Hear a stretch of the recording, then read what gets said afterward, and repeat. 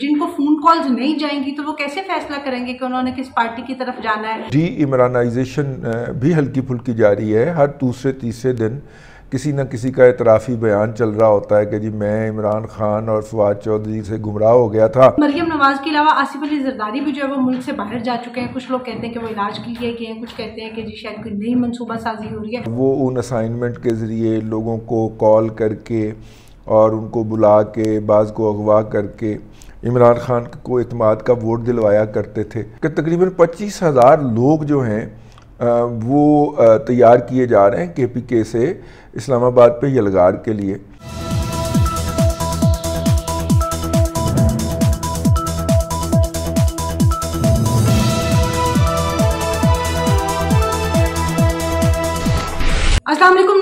Programme बात से बात के साथ मैं हूँ आपकी मेज़बान अफीफ़ा रो और मेरे साथ मौजूद है सीनियर तजिया का रिजवान रज़ी साहब असलम सर वालेकुम अस्सलाम। सर, बाजवा साहब जो है वो एक बड़े अहम अमरीकी दौरे पे गए हुए और एक्सटेंशन उनकी रिटायरमेंट के इस टाइम पे इस तरह का दौरा जो है वो काफ़ी ज़्यादा इम्पोर्टेंट हो सकता है और उससे भी ज़्यादा इम्पोर्टेंट वो उनका बयान है जो अभी अमेरिका से सुनने में आया है कि बाजवा साहब ने ये फरमाया कि भी अब फौज जो है वो सियासत में मुदाखलत नहीं करेगी। तो आप इस सबको और पाकिस्तानी सियासत को कैसे देखते हैं? तो फिर जिनको फ़ोन कॉल्स नहीं जाएँगी तो वो कैसे फैसला करेंगे कि उन्होंने किस पार्टी की तरफ़ जाना है? और ये तो फिर पाकिस्तान की सियासत का नक्शा ही तब्दील नहीं हो जाएगा इस तरह से तो। नहीं सियासत का नक्शा तो तब्दील नहीं होगा। सियासत अपने ओरिजिनल रंग की तरफ़ वापस लौट आएगी। और देखिए मुदाखलत करके उन्होंने जो कुछ किया है और जिस तरह का गंद पड़ा है सियासत के अंदर आ, उसको समेटना भी तो है ना अब।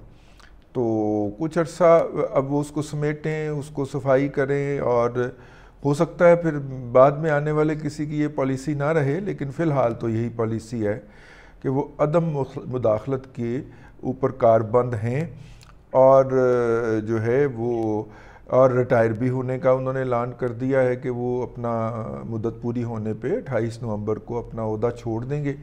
तो इसका मतलब है कि हम नया अफसर जो है वो उनकी जगह के ऊपर अपनी ज़िम्मेदारियाँ संभालेगा। तो ये बहरहाल अपनी जगह पे है, है? अच्छा ओमन लेकिन है। सर जिस तरह का पाकिस्तान का कल्चर है और जिस तरह से ये सारी चीज़ें ऑपरेट हो रही होती हैं तो आपको लगता है कि कम्प्लीटली पॉसिबल है कि फौज बिल्कुल न्यूट्रल होकर रह सके देखिए आप भी हैं सियासत को समझते हैं पाकिस्तान की जो स्टेट क्राफ्ट है उसके अंदर जो है वो जिस तरह की इंजस्टन हो चुकी है आ, लेकिन देखिए ना सोशल मीडिया ब्रिगेड जो तैयार की गई और हमें इस लेवल से ही बताया गया कि फिफ्थ जनरेशन हाइब्रिड वॉरफेयर जो है, उसके लिए ये फोर्स खड़ी करनी बहुत ज़रूरी है। और वो फोर्स जो है, वो at the end of the day अब सबसे ज़्यादा पाक फ़ौज के ऊपर तनकीद करती हुई पाई जाती है। और उसके जो ज़िम्मेदारान हैं उनकी ज़ाती ज़िंदगियों के हवाले से बहुत कुछ ऐसी बातें कहती पाई जाती है जो कि नहीं कहनी चाहिए।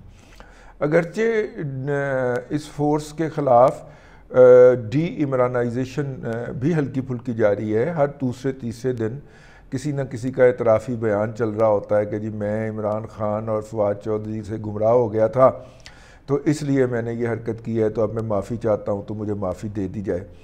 तो, तो सर ये जो आप इमरान खान और सोशल मीडिया ब्रिगेड की बात कर रहे हैं तो अगर फौज इस तरह से न्यूट्रल हो जाती है तो इमरान खान तो कहते हैं कि न्यूट्रल तो जानवर होता है और बाकी भी सारी स्टेटमेंट्स वो आपको पता ही है जिस तरह के बयान जो है वो देते रहे मिस्टर एक्स मिस्टर वाई को लेके कभी वो कुछ कहते हैं कभी कुछ कहते हैं लेकिन फिर इसके अगर फौज वाकई न्यूट्रल हो जाती है तो फिर इमरान खान का बयानिया कहाँ जाएगा?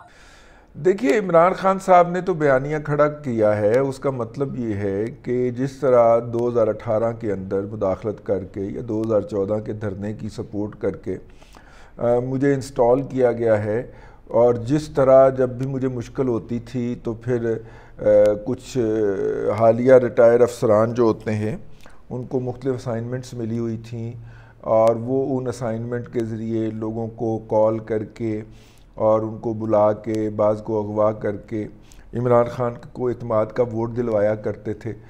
चूँकि इस दफ़ा उन्होंने ये काम नहीं किया तो इसलिए वो गद्दारी के मरतकब हो गए हैं आ, वो जानवर होते हैं। अगर वो ये वाली डर्टी जॉब्स करते रहते और बकौल इमरान खान साहब के इतिहादी परवेज़ इलाही के वो नैपियाँ चेंज करते रहते तो वो अच्छे होते। और उनकी वो तारीफ़ों के पुल बांधते और उनकी तारीफ़ें करते, लेकिन चूँकि उन्होंने ये डर्टी काम जो है, वो डर्टी जॉब जो है, वो मजीद मज़ीद करने से इनकार कर दिया है। तो ये चीज़ हर गुजरते दिन के साथ जो है, वो होती जा रही है। मैं आपको बेनकाब होती जा रही है। मैं आपको इसका एक ताज़ा तरीन जो वाक़ है, वो ये बताता हूँ कि जिस दिन मरीम नवाज़ शरीफ ने पिछली प्रेस कॉन्फ्रेंस की एक तो हालिया प्रेस कॉन्फ्रेंस की ना जिसके बाद वो लंदन चली गई। जी। लेकिन जो पिछली प्रेस कॉन्फ्रेंस की और जिसके अंदर हम देखें कि तीन अहम डेवलपमेंट हुई माफ़ कीजिएगा उसमें सागडार भी उनके साथ थे पूरी पार्टी बैठी हुई थी। वो प्रेस कॉन्फ्रेंस जो की वो प्रेस कॉन्फ्रेंस जिसके जो उसके अंदर चीज़ें डिस्कस हुई मसलन पौने सात रुपये फ़ी यूनिट बिजली की कीमत में कमी बारह रुपये पेट्रोल की कीमत में कमी और इसके अलावा डॉलर की सट्टेबाजी करने वाले आठ बैंकरों को पकड़ना, ये सारी अहम बातें थीं। लेकिन ये एक घंटा भी डिस्कस नहीं हो सकी, चूँकि इमरान खान साहब ने शोशा छोड़ दिया कि उन्हें पकड़ने के लिए एक एसएचओ ने नोटिस जारी कर दिया और उस एसएचओ के नोटिस के तातली के लिए, जो कि वो एसएचओ साहब खुद भी कर सकते थे अदालत खुल गई हाई कोर्ट की। तो वो सारी रात इमरान खान डिस्कस होता रहा पीएमएलएन की प्रेस कॉन्फ्रेंस डिस्कस नहीं हुई। तो इमरान खान साहब इस तरह ध्यान बटा के सबको अपनी तरफ़ मुतवजो रखते हैं ताकि वो लेकिन सर एक एक चीज़ सॉरी मैं आपकी बात काट रही हूँ लेकिन आप ये देखें कि इमरान खान तो आ, सारी तवज्जो समेट लेते हैं। अब नून लीग के अंदर अगर कोई आ, ऐसी शख्सियत नज़र आती है जो कि क्राउड पुलर है लोगों की तवज्जो अपनी तरफ़ खींच सकती है तो वो मरियम नवाज़ है। मरियम नवाज़ अब लंदन जा चुकी हैं तो आप क्या देखते हैं कि पीछे से ये मुस्लिम लीग नून का क्या हाल होगा?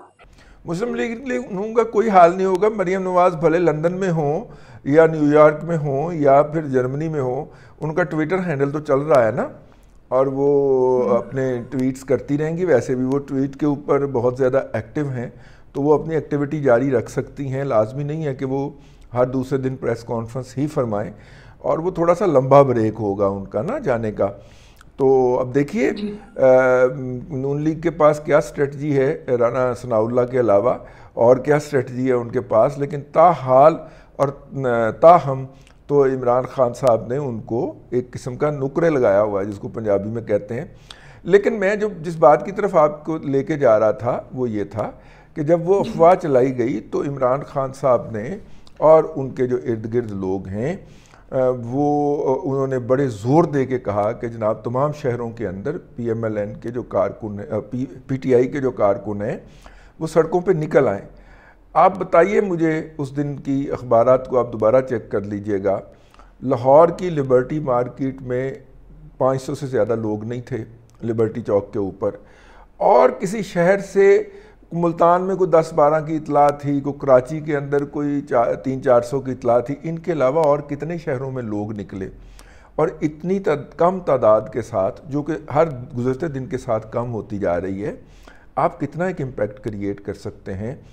इस वक्त मैं आपको दे दूँ एक इतला है अभी मुझे कंफर्म करना है इसको लेकिन इतला ये है कि तकरीबन पच्चीस हज़ार लोग जो हैं वो तैयार किए जा रहे हैं के पी के से इस्लामाबाद पे यलगार के लिए। और उनको जुजवी अच्छा। तौर पे उनमें से ज़्यादातर लोग पहले भिजवा दिए जाएँगे। उनमें से कुछ लोग जो हैं वो तो बनी गाला के बाहर जो खेमे लगा के बैठाए गए हुए हैं उनको जो उन वहाँ पे आके ठहरेंगे। कुछ गिलगित बल्तिस्तान हाउस जो है वहाँ पे ठहरेंगे कुछ पंजाब हाउस में होंगे कुछ कश्मीर हाउस में होंगे।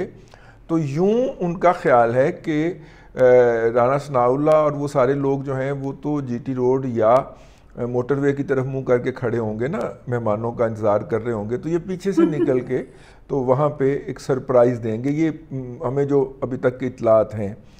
और ये लोग बाकायदा जो हैं ये पेड लोग हैं।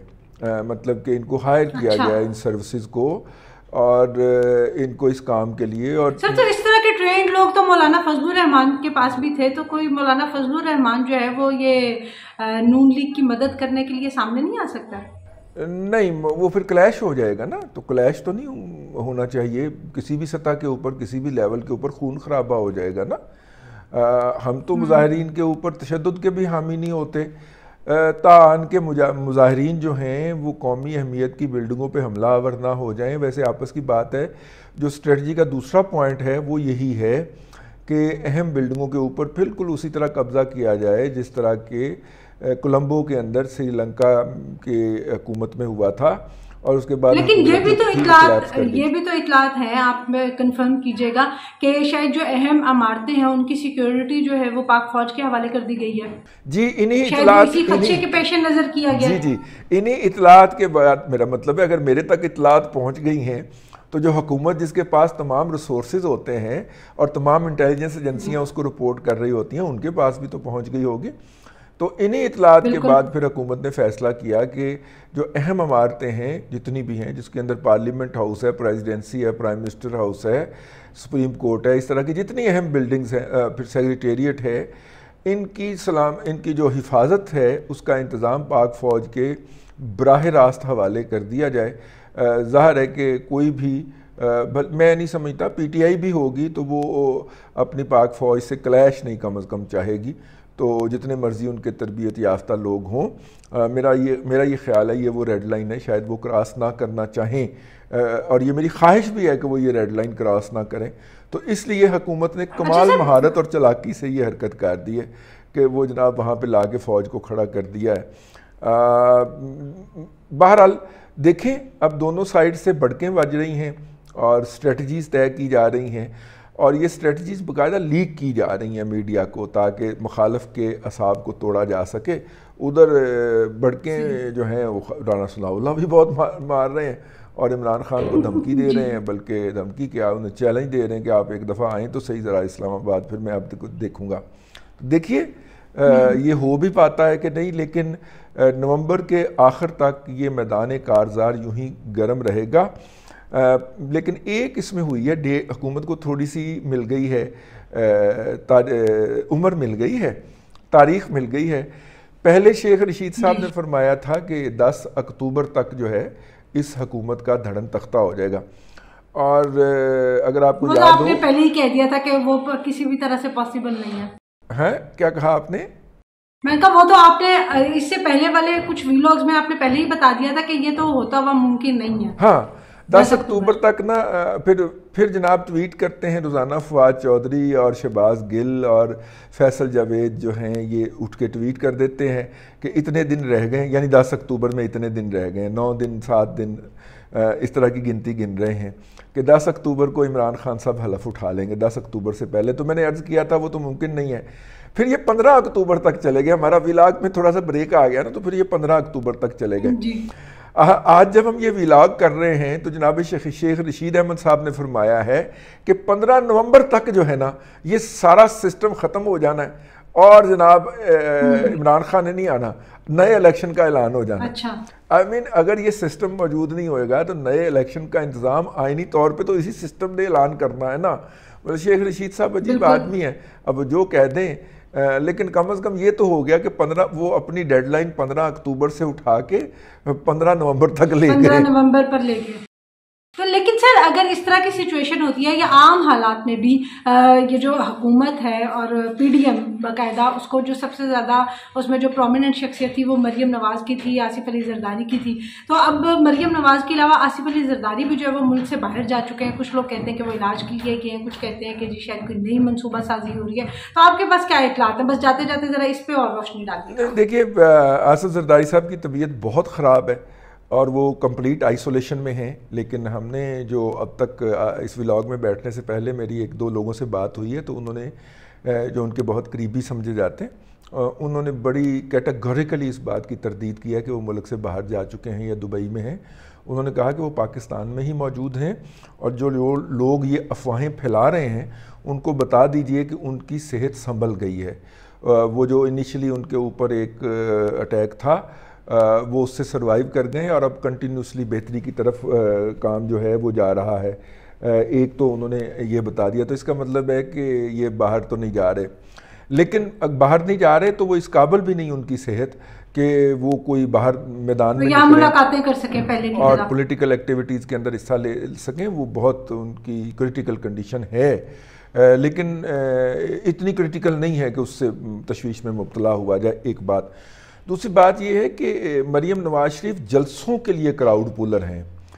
यहाँ पे हुकूमत ने जलसे नहीं करने, यहाँ पे हुकूमत ने जलसे करने वालों को रोकना है, उनका मकू ठापना है। जी नाजीन आपने सुना रिजवान रज़ी साहब का तजिया कि यहाँ पे दरअसल मरियम नवाज़ से ज़्यादा इस वक्त राना सनाउल्ला साहब की ज़रूरत है या इसहाक डार साहब की ज़रूरत थी ताकि वो मीशत को जो है वो बेहतर कर सकें। तो अब अब देखना ही है कि आने वाले दिनों में, ख़ास तौर पर नवंबर के आखिर तक हालात जो है वो किस करवट जो है वो बैठते हैं। तो अभी के लिए इतना ही। हम आपको वक्ता फ़वक्ता जो है वो तमाम पोलिटिकल एक्टिविटीज़ पर और उनके एनालिसिस से जो है वो आगाह करते रहेंगे। वीडियो पसंद आई हो तो लाइक ज़रूर कीजिएगा शेयर कीजिएगा कमेंट में अपनी राय ज़रूर दीजिएगा। अंटिल द नेक्स्ट टाइम अल्लाह हाफ़